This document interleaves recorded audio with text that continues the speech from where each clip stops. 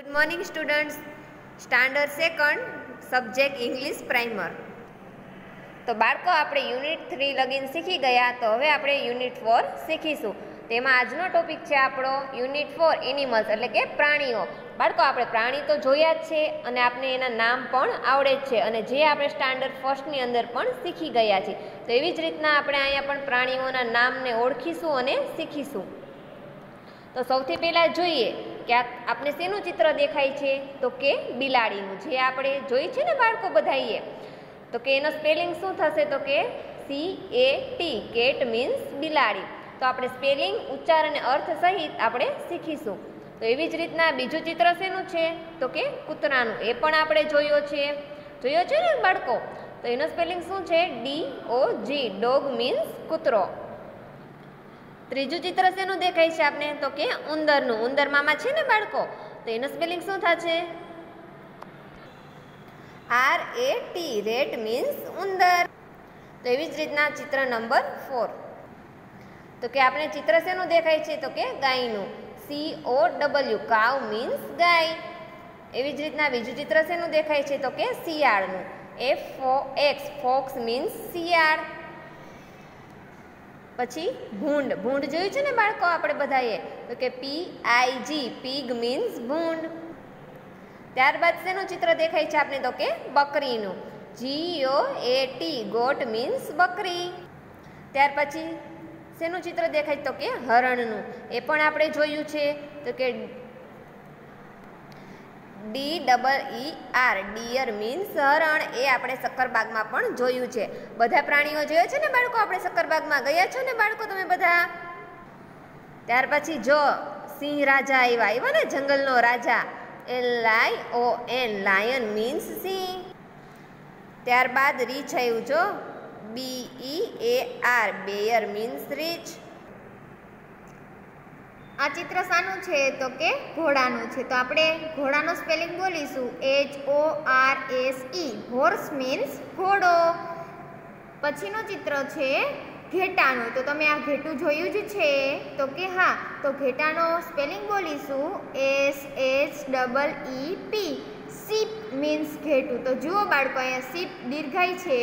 તો આપણે એનો સ્પેલિંગ કયો આવશે? ડબલ ઈ વાળો આવશે. સીપ મીન્સ ઘેટું. ત્યારબાદનું ચિત્ર છે ઊંટનું. તો, ઊંટ ક્યાં ક્યાં દેખાય તમને? તો કે રણમાં દેખાય છે. તો આપણે એમનો સ્પેલિંગ બોલીશું કે C A M E L camel means ઊંટ. ત્યારબાદ ચિત્ર છે વાઘનું. તો આ વાઘ તમે પ્રાણી સંગ્રહાલયની અંદર જોયું છે. જુનાગઢ સક્કરબાગમાં પણ જોયું છે. તો આપણે વાઘનું spelling બોલીશું. T I G E R tiger means વાઘ. તો બાળકો, આ સ્પેલિંગ જે છે, એ આપણે ખાલી બોલવાના જ નથી, પણ આપણે એની સાથે લખતા જવાનું છે અને યાદ પણ રાખવાનું છે. ત્યારબાદ આ સફેદ રંગનું છે એ શું છે? તો કે સસલું છે. તો ચાલો આપણે સસલાનો spelling બોલીશું. R A double B I T rabbit means સસલું. પછી આ તમને ચટાપટાવાળું દેખાય છે. તો કે હા, શું છે? તો કે આ ઝીબ્રા છે. તો ઝીબ્રાનો સ્પેલિંગ બોલીશું કે Z E B R A. Zebra means zebra, જે આપણે એ ટુ ઝેડના સ્પેલિંગ શીખીશી. એની અંદર ઝેડ આવે છે, એ ઝીબ્રાનો સ્પેલિંગ છે.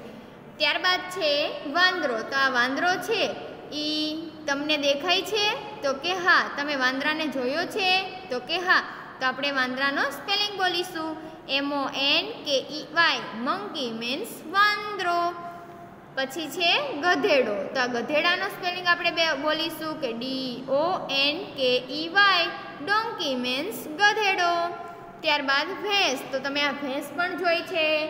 ભેંસનું દૂધ પણ પીધું હશે. તો બધા બાળકોએ ભેંસનો સ્પેલિંગ બોલવાનો છે.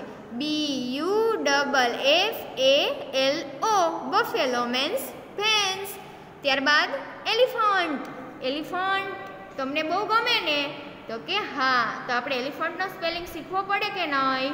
તો કે હા, શીખવો પડે. તો એલિફન્ટનો spelling બોલીશું. E L E P H A N T elephant means હાથી.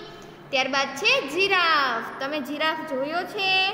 તો કે હા, જીરાફ જોયો છે. તો આપણે જીરાફનો spelling બોલીશું. G I R A double F E giraffe means giraffe. ત્યારબાદ ખિસકોલી? તો ખિસકોલી તમારા ઘરે પણ હોઈ શકે છે.